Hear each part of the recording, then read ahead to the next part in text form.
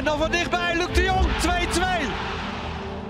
Oh, dit is echt slecht. Wat? Deze voorzet komt nog bij Lozano, 5-2. Oh, dit was echt slecht. 5-2. En door dat verlies staat Ajax nu officieel laatste in de eredivisie. De crisis blijft dus aanhouden. Ja, ja het was een- natuurlijk heel jammer, heel balen. Vinden ook deze Amsterdamse kinderen. Niet leuk, want ik wou dat hun winnen. Misschien zijn ze niet goed geconcentreerd. zielig. Ik vind dat, dat ze beter aan kunnen pakken.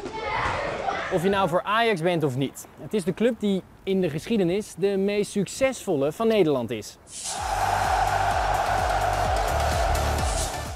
We beginnen met prijzen. Ajax is het vaakst kampioen van Nederland geworden en is ook de club met de meeste internationale prijzen. Ajax heeft ook al jarenlang de duurste voetballers van Nederland. De club gaf vorig seizoen zo'n 100 miljoen euro uit aan de salarissen van spelers. PSV en Feyenoord gaven duidelijk minder uit.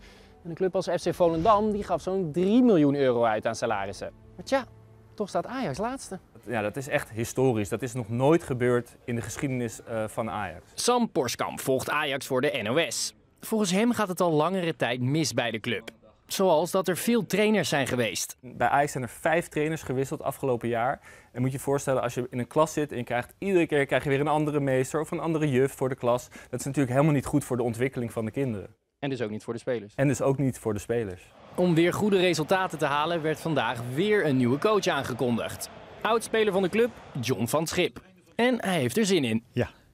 Ze staan nu op de 18e plek. Dat is de laatste plek van de competitie. Dus slechter kan het niet. Dus eigenlijk kunnen ze vanaf nu weer een beetje omhoog kijken. Deze kinderen hopen dat de coach voor beter spel zorgt. En ze hebben ook nog wel wat tips voor hem. Mijn tip is dat de spelers harder moeten trainen. Geen trainer, u moet echt strenger zijn. Mijn tip is dat je de spelers meer skills laat zien. Of de nieuwe coach gaat luisteren is de vraag. Zelf wil hij zo snel mogelijk van de laatste plek af. Als jij elke dag traint, je wedstrijden doet en eh, beter wordt, dan eh, is de bedoeling dat je wel naar boven gaat.